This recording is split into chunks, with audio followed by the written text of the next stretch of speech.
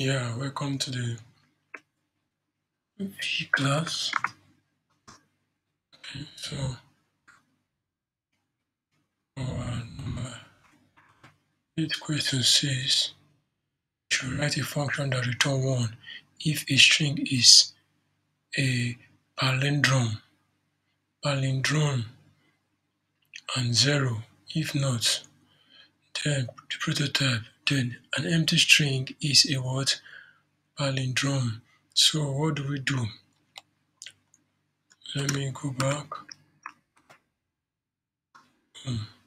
so get the name of the string the name of the the name of the file. Okay. They enter it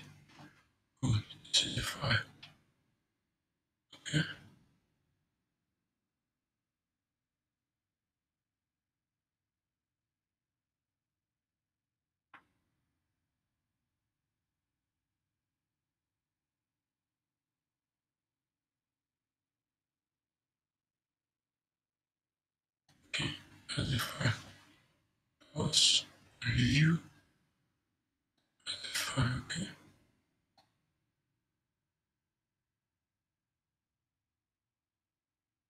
Pause it to review. Okay, pause it. The next thing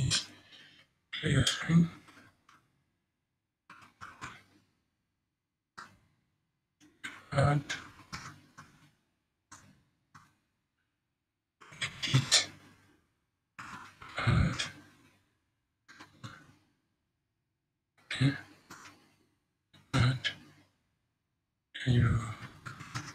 hit you commit um, hundred